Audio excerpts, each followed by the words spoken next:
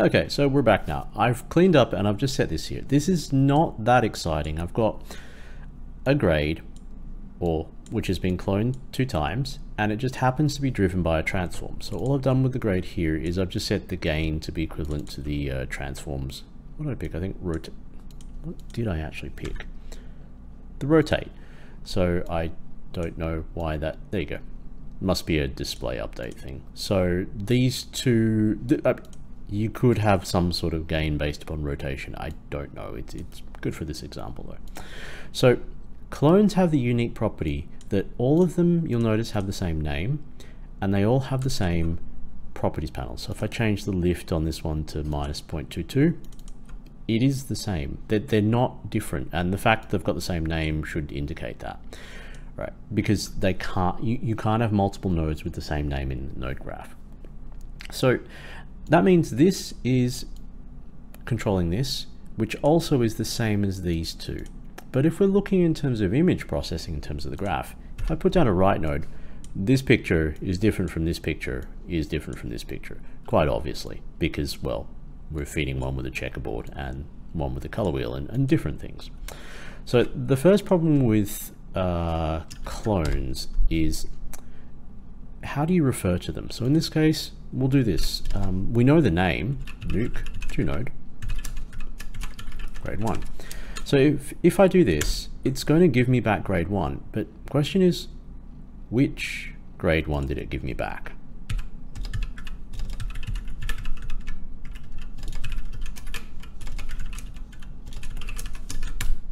Uh, all of them? Cool, right? Because disable is a property that's shared by all of them. Okay, that's fine, because we're changing something that affects all of them. But what happens we ask, what's your input zero, okay?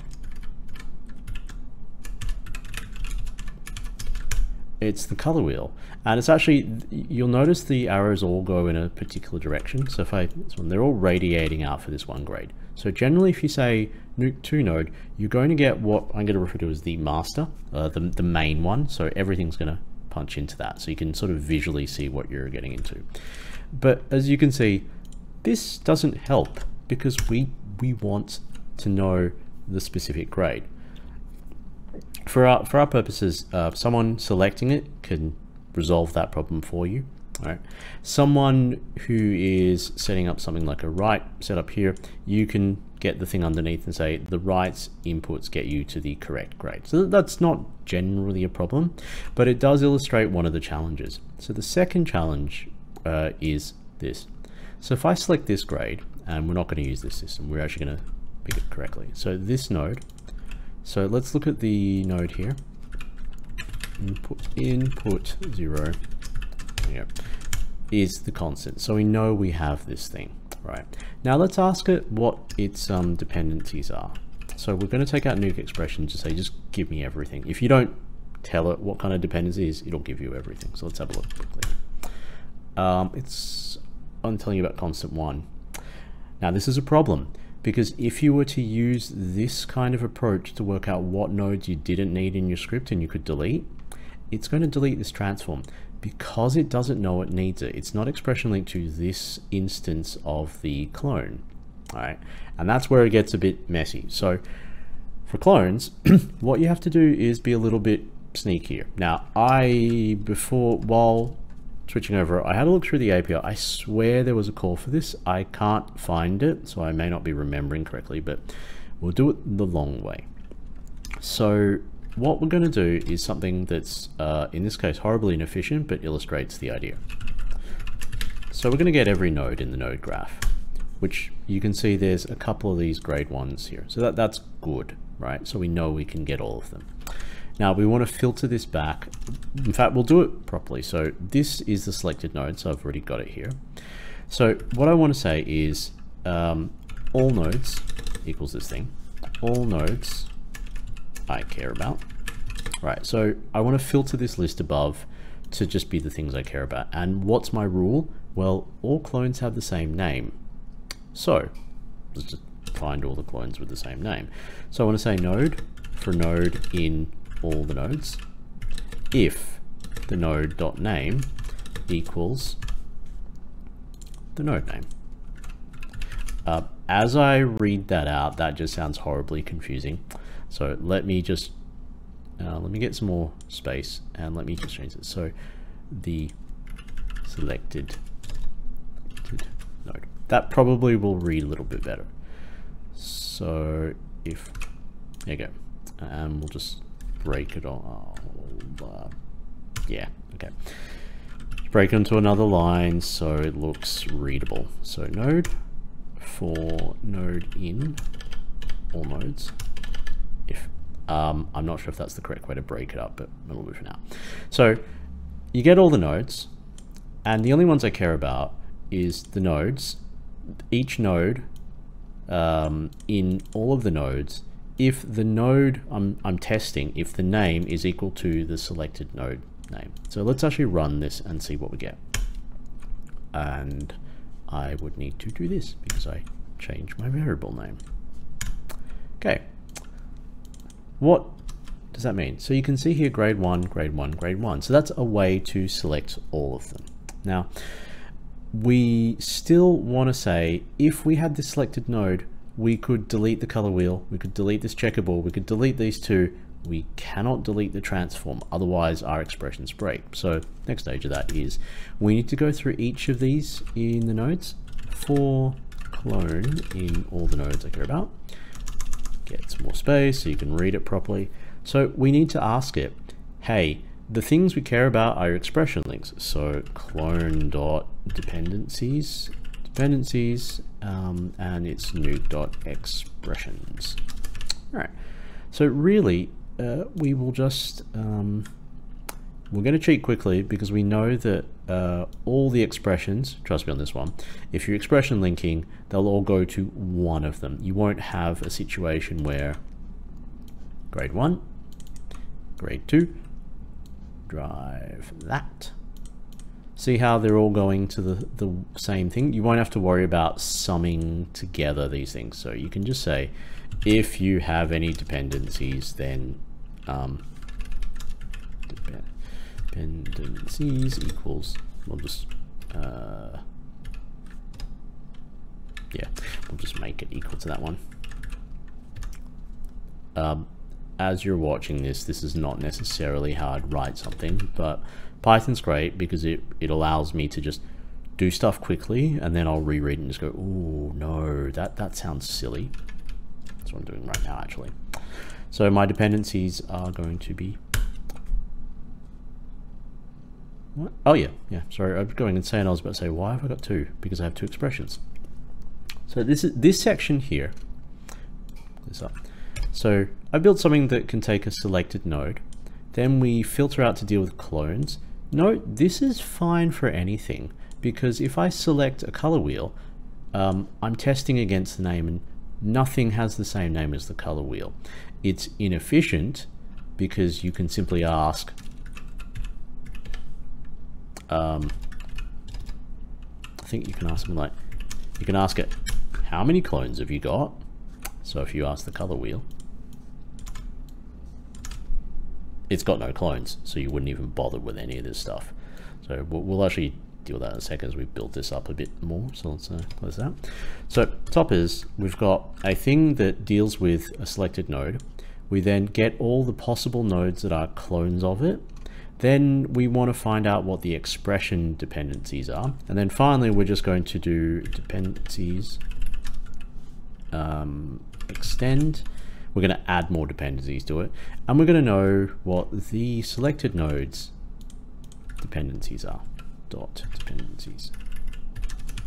All right, and we can ask for all of them. We don't have to filter it back because we know what it is. And then you can just print dependencies.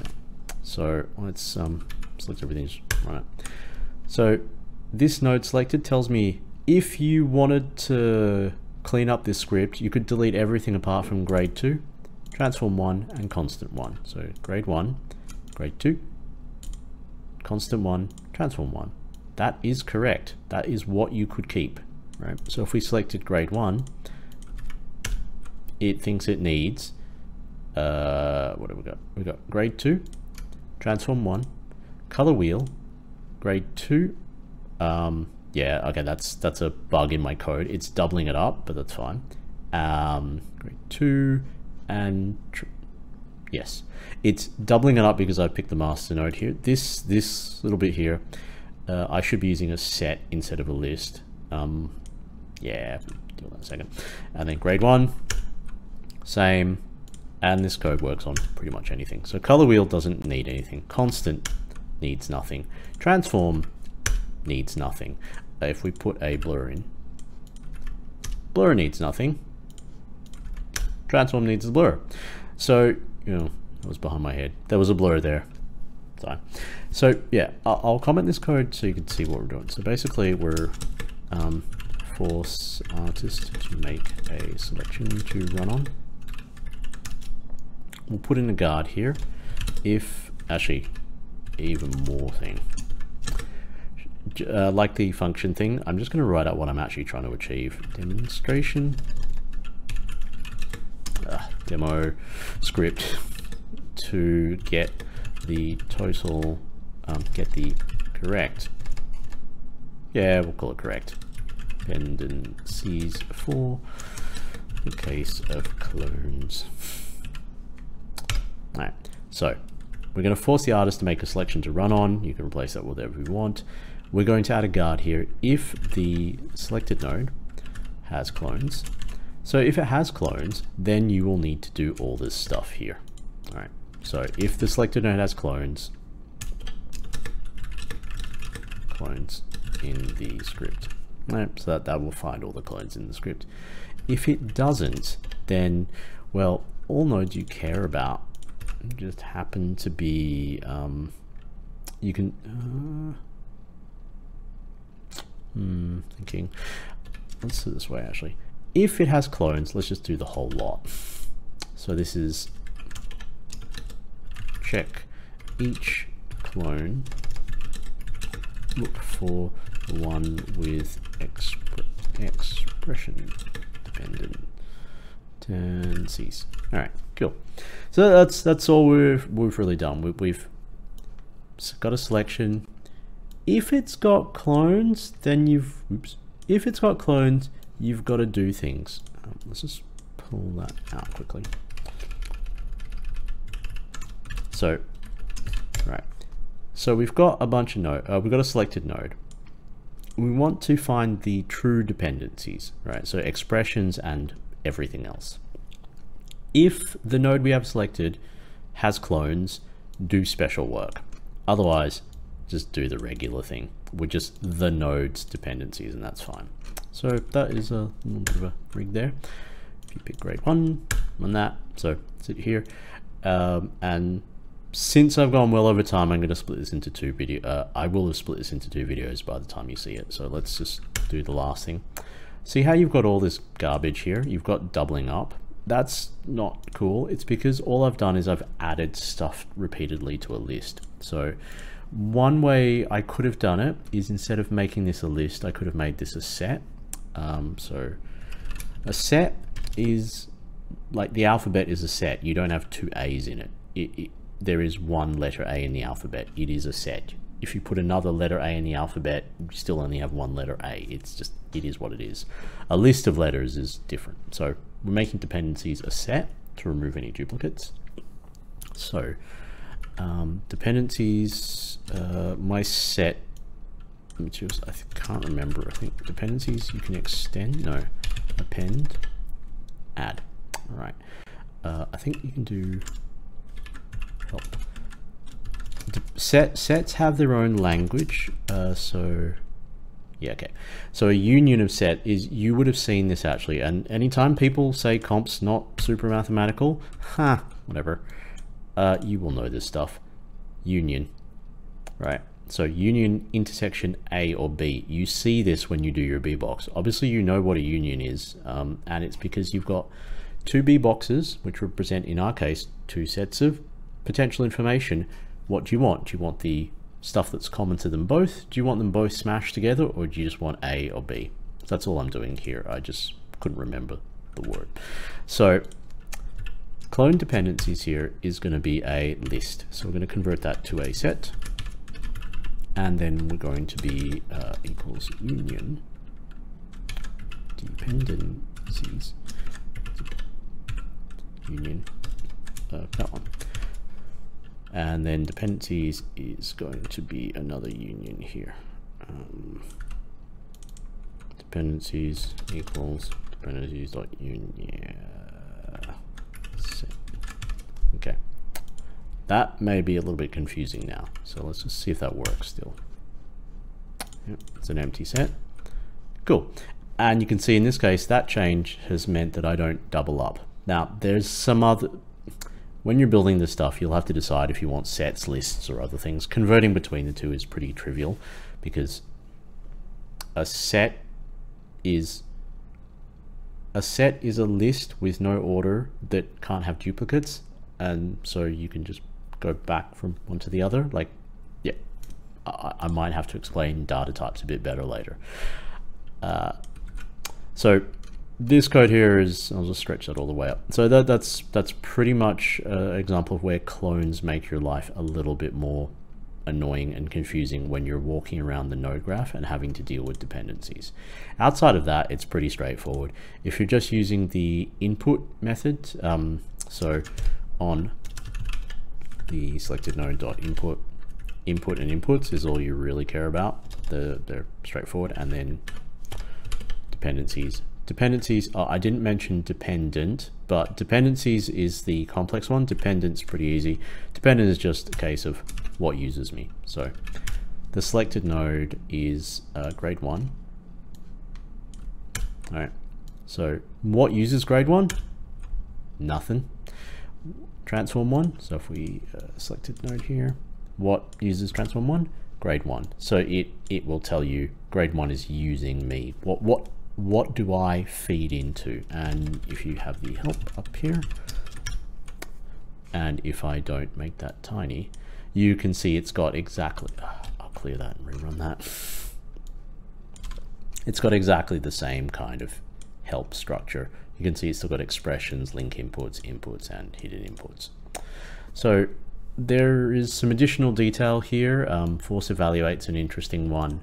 Um, it's because it's it's down to a little bit of uh, the way a um, the way the node graph works, and it's not just our nuke node graph. It's the same set of principles that will drive most maybe even all node graphs. It's the concept of, in our case, where we send our requests, how often do you have to evaluate things to make sure everything's uh, coherent and not wacky?